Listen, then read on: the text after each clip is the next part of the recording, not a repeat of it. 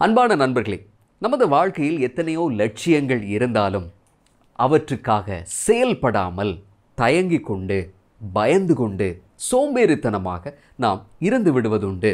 ஆனால் சிறு பராயத்தில் இதுபோல செயல்களை செய்கிறதுக்காக ஒரு நல்ல நுட்பத்தை நாம் பயன்படுத்தி இருக்கிறோம். உதாரணத்துக்கு ஒரு நீச்சல் குளத்தில் அல்லது ஆற்றில் குதிப்பதற்காக தயங்கிக் கொண்டிருக்கிற நாம் கவுண்டிங்கை பயன்படுத்தியிருப்போம். Five four three two one என்று எண்ணி முடிக்க உடனே குதித்திருப்போம். தயக்கங்கள் எதுவும் என்றே. எப்படி இது சாத்தியப்பட்டது. இந்த கவுண்டிங் ஒரு செயலை செய்கிறதுக்கு நமக்கு எப்படி உதவப் போகிறது? பலவிதமான உணர்வுகள். ஒரு செயலை செய்கிறதுக்கு நம்மை தடுக்கும் போது அவற்றை எல்லாம் மீறி அந்த செயலில் அதிக கவனத்தை செலுத்துறதுக்கு இந்த கவுண்டிங் உதவுகிறது. எழுத்தாளர் மெல் ராபின்ஸ் அவங்களுடைய வாழ்க்கையில் சோதனைகள் சூழ்ந்திருந்த ஒரு காலம். அவங்க வேலையை இழந்துட்டாங்க. அதே போல் கணவரும் தொழில் ரீதியாக நஷ்டப்பட்டு கொண்டிருக்கிறார். அதிகாலை எழுவதற்கு கூட ஒரு நோக்கம் இல்லாததால் எல்லாம் அடிக்கும் போதே ஸ்னூஸ் செய்துவிட்டு உறங்கிக் கொள்வாராம். அப்போது அவங்க தொலைக்காட்சி பார்க்குறாங்க. Five four three two one என்கிற ஒரு கவுண்டிங்கோடு ஒரு ராக்கெட் லான்ச் ஆகிறது. அது அவருடைய வாழ்க்கையில் மிகப்பெரிய மாற்றத்தை ஏற்படுத்துகிறது. அடுத்த நாள். எல்லாம் அடிக்கும் போது five four three two one என்கிற கவுண்டிங்கோடு அவர் வேறு எந்த சிந்தனைகளும் இல்லாமல் தாமதிக்காமல் எழுந்து கொள்கிறார். இதை ஒரு ஒரு மாத காலத்துக்கு தொடர்ந்து பயிற்சி செய்தாராம். அதுக்கு பிறகு அவங்களுடைய வாழ்க்கையில் மிகப்பெரிய மாற்றங்கள் நேர்ந்தது என்று அவர் பதிவு செய்கிறார். இந்த five four three two one என்கிற கவுண்டிங் அவங்களுடைய வாழ்க்கையில் செயல் ரீதியாக செயல்பட்டு பலவித வெற்றிகளை அடைகிறதுக்கு அவங்களுக்கு உதவியது. பின்னாட்களில் இந்த நுட்பத்தை வைத்தே அவர் ஒரு புத்தகத்தை எழுதுகிறார். த ஃபைவ் செகண்ட் ரூல் இந்த புத்தகத்திலிருந்து நாமும் வெற்றிகரமாக செயல்படுவதற்கு மூன்று விஷயங்களை உங்களோடு பகிர்ந்து கொள்ளப் போகிறேன் நண்பர்களே. முதலாவது விஷயம் நாம் வரலாற்று கதைகள் படிக்கிறோம். அதில் குறிப்பிடப்படும் சூப்பர் ஹீரோக்களை பிரமிப்போடு பார்க்கிறோம். என்ன ஒரு அசாதாரணமான துணிச்சல் மிக்க மனிதர்கள் என்று அவர்களை நினைக்கிறோம். ஆனால் அவர்களும் நம்மைப் போல தயக்கம் கவலை பயம் என்று எல்லா உணர்வுகளும் கொண்டவர்கள்தான்.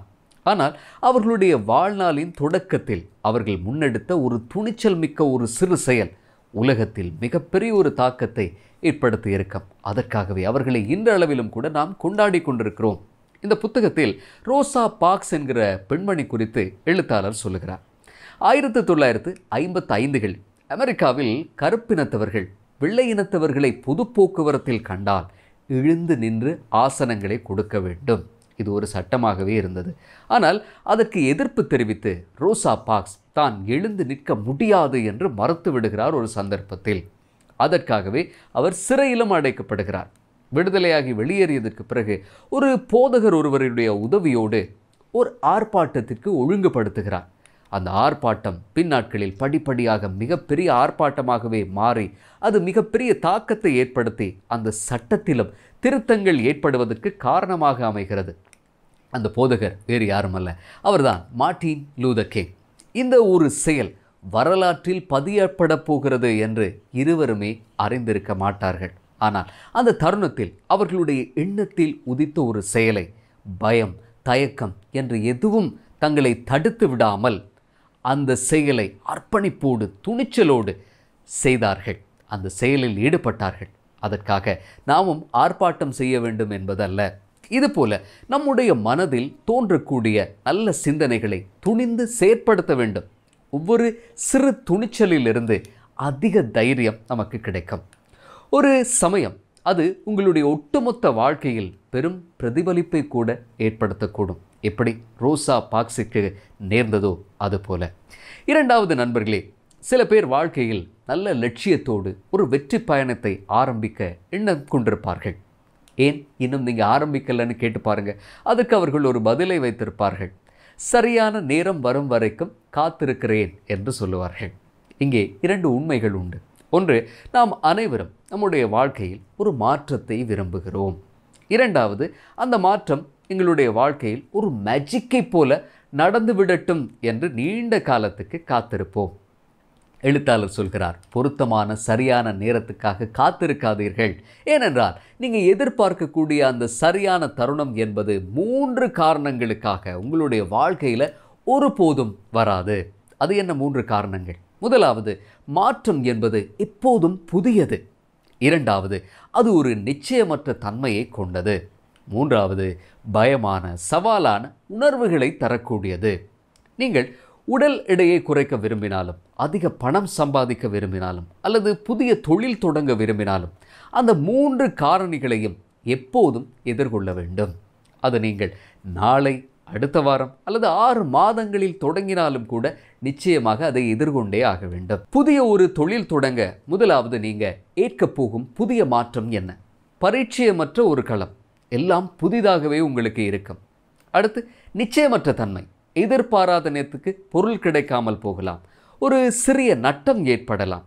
அடுத்து நிறைய முதலீடு செய்திருப்பீங்க. அது உங்களுக்கு பயத்தை அல்லது சவாலான உணர்வை தரக்கூடும். ஆக எந்த ஒரு செயலுக்கும் இந்த மூன்று விஷயங்களை கடக்க வேண்டியிருக்கும். இதற்கு ஒரு நாள் அல்லது அதைவிட காத்திருப்பது என்பது நேரத்தை வீணடிப்பதை தவிர வேறொன்றும் இல்லை எடுக்கும் முதலாவது நடவடிக்கை சிறியதாக இருந்தாலும் அது ஒரு செயல் ஆக்ஷன் அதுதான் முக்கியம். துணிந்து செயல்படுங்கள் அடுத்து மூன்றாவது விஷயம் நண்பர்களே உணர்வுகளா சிந்தனைகளா எது உங்களை செயற்படுத்துகிறது? சரியான தருணத்துக்காக காத்திருப்பதை நிறுத்த வேண்டும். அதற்கு துணிவு வேண்டும். இருந்தாலும் ஏன் நாம் காத்திருக்கிறோம்? பிரபலமான நியூரோ சயின்டிஸ்ட் அன்டோனியோ டெமசியோ அவருடைய புத்தகத்தில் ஒரு ஆய்வு முடிவொன்றை சுட்டிக்காட்டுகிறார். வாழ்க்கையில் நாம் எடுக்கக்கூடிய முடிவுகளில் தொண்ணூற்றைந்து வீதமானவை உணர்வு பூர்வமாகவே எடுக்கிறோம் அப்படின்னு சொல்கிறார் அவை உண்மைகள் தரவுகள் சார்ந்தவையாக இருப்பதில்லை. ஆக நாம் சிந்தித்து செயற்படுவதில்லை. உணர்வுகளுக்கு கட்டுப்பட்டு செயற்படுகிறோம். அதனால் செயல்படாமலேயே விட்டுவிடுகிறோம். எப்படி இதை தீர்ப்பது? இதற்கு மேல் என்னால் ஓட முடியாது. இதற்கு மேல் என்னால் நீந்த முடியாது என்கிற ஒரு உணர்வு மேலோங்கும் போது விளையாட்டு வீரர்கள் என்ன செய்கிறார்கள்? எப்போதும் அவர்கள் உணர்வுகளை பரிந்துரைகளாக ஒரு சஜஷன்ஸாக மாத்திரமே பார்க்கிறார்கள். அதுவே அவர்களை அந்த மனநிலையிலிருந்து உடைத்து கொண்டு முன்னேற வழிவகுக்கிறது. இத்தனை செகண்ட்களில் இந்த தூரத்தை கடக்க நான் நன்றாக பயிற்சி செய்திருக்கிறேன்.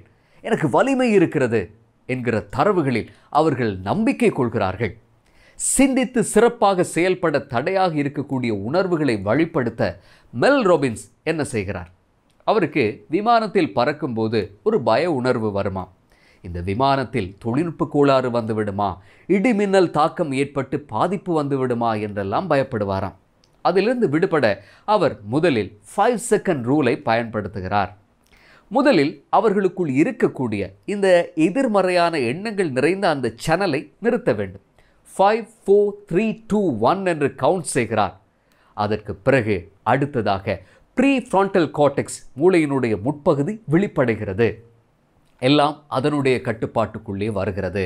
அதற்கு பிறகு மெல் ராபின்ஸ் ஆங்கர் தாட் என்கிற அவருடைய நுட்பத்தை பயன்படுத்துகிறாங்க அந்த விமான பயணம் எதற்காக அவர் செய்கிறார்? அந்த விமான பயணத்தினுடைய நிறைவில் அவர் யாரை சந்திக்கப் போகிறார்?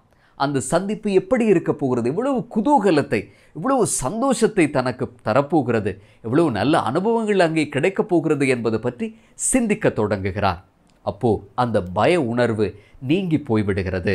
மெல் ரோபின்ஸ் சொல்கிறாங்க நீங்கள் இந்த ஆங்க தோட்டை பயன்படுத்துறதுக்கு முதல்ல நீங்கள் என்ன நினைக்க போகிறீங்க அந்த பயணத்தின் நிறைவில் எவ்வளவு குதூகலம் இருக்குது சந்தோஷம் இருக்குது என்பதை முதலிலேயே திட்டமிட்டு கொள்ளுங்கள் என்பதையும் சொல்கிறார். நண்பர்களே இந்த ஃபைவ் செகண்ட் ரூலில் இருந்து நான் உங்களோடு பகிர்ந்து கொண்ட இந்த மூன்று விஷயங்களும் உங்களுக்கு பயன் தரும் என்று நம்புகிறேன். முதலாவது விஷயம் சிறிய செயல்கள் என்றாலும் துணிச்சலோடு நாம் செயற்பட வேண்டும். அது படிப்படியாக பின்னாட்களில் பெரிய சவாலான செயல்களை செய்கிறதுக்கும் தைரியத்தை தன்னம்பிக்கையை தரும். இரண்டாவது விஷயம் சரியான நேரத்துக்காக நாம் காத்திருக்கக்கூடாது. அது நம்முடைய வாழ்க்கையில் எப்போதும் வராது. மூன்று காரணங்களுக்காக. அடுத்து மூன்றாவது விஷயம் நண்பர்களே எப்போதும் நாம் உணர்வுகளுக்கு கட்டுப்பட்டு செயல்படாமல் நின்று விடாமல் சிந்தித்து செயல்பட வேண்டும். இந்த மூன்று விஷயங்களும் பிடித்திருந்தால் உங்களுடைய நண்பர்களோடும் பகிர்ந்து கொள்ளுங்கள். மீண்டும் உங்களை அடுத்த பதிவில் சந்திக்கிறேன். இந்த யூடியூப் சேனலுக்கு புதிய ஒருவர் என்றால் சப்ஸ்கிரைப் செய்யுங்க பெல்லைக்கனை கிளிக் செய்யுங்கள். உங்களுடைய நண்பர்களோடு ஷேர் செய்து இந்த பதிவையும் பகிர்ந்து கொள்ளுங்கள். மீண்டும் சந்திப்போம். நன்றி.